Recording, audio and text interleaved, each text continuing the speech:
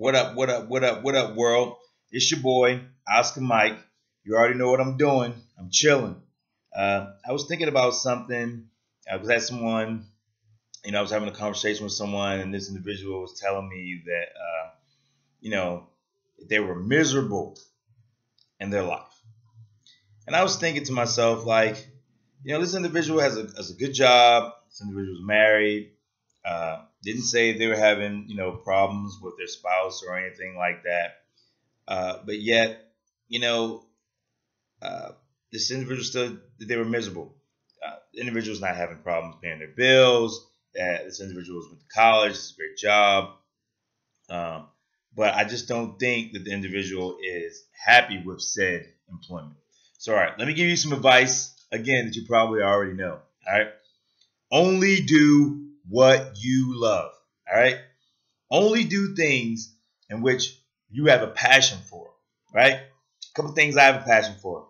I love coaching football, so I coach my kids. Right, I love trading stocks. Right, so when I have the money to invest, uh, I do that all the time, and I actually get pretty good at it, you know, over time after losing a little bit of money, if you know what I mean. Um, I have a passion for what I do for a living. Uh, I love serving my country, so I put my best foot forward. Um, I, I, I obsess over you know my job and those things that I have passion for. Um, the things I make sure the things I do in my life are not things to make me miserable, right? It's certain foods that I don't like, and there's certain foods that I do like, right? So we go to a restaurant. I only want to eat seafood. So guess what? I only order seafood.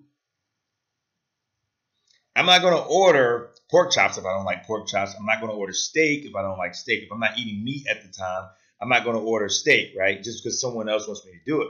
Uh, the problem in a lot of people's lives is that the things that they're doing are making them miserable. If your job is making you miserable, you need to seek employment elsewhere, right? If the food that you're eating makes you miserable, stop eating that food. If you look down and you see a fat belly, all right, go to the gym.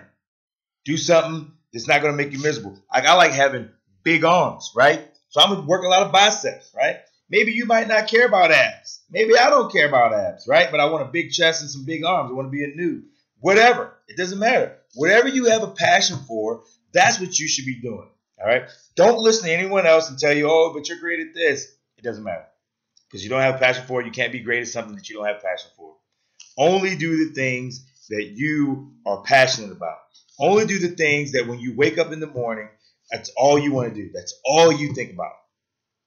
That list that I told you write down, whatever's at the top of that list, most likely is what brings you the most passion, what brings you the most joy. So if you like serving other people, if you like teaching, or if you want to be a doctor, or if you want to be a nurse, you want to be a lawyer because you love to argue, if those are the things you have passion for, that's what you're supposed to be doing in your life. You're not supposed to be a bus driver, or you're not supposed to be busting tables, unless that job leads to you getting uh, uh, to, to you one day, you know, doing your passion.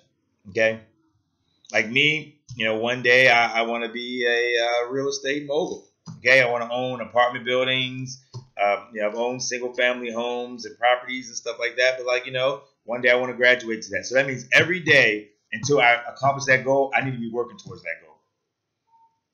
That's for me in my own life. I'm telling you, Oscar Mike, the guy that's on the move, right? I need to be working towards that. And so if you are not chasing your passion, you're doing yourself a disservice. And that's one of the reasons why you're probably miserable in your life because you you're not doing what you have a passion for. All right. Now I hope this segment helped you. Like I, I'm, I'm having really hard conversations with you guys about you know what I feel as though that you need to do to be successful. Do what you're passionate about and do it today because Oscar Mike said so.